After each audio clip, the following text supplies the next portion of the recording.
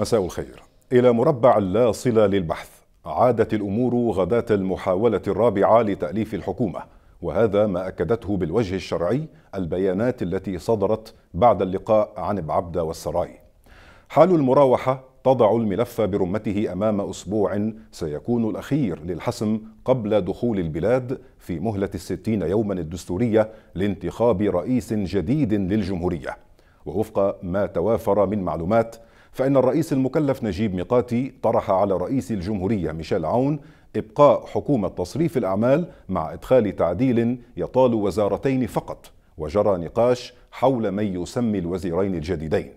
في المقابل تمسك عون بتوسعة الحكومة لتصبح ثلاثينية مع إضافة ستة وزراء سياسيين. وهنا أيضا برزت عقدة من يسمي الوزراء المسيحيين من ضمن الستة علما أن ميقاتي لم يبدو متحمسا لهذا الطرح في الأساس.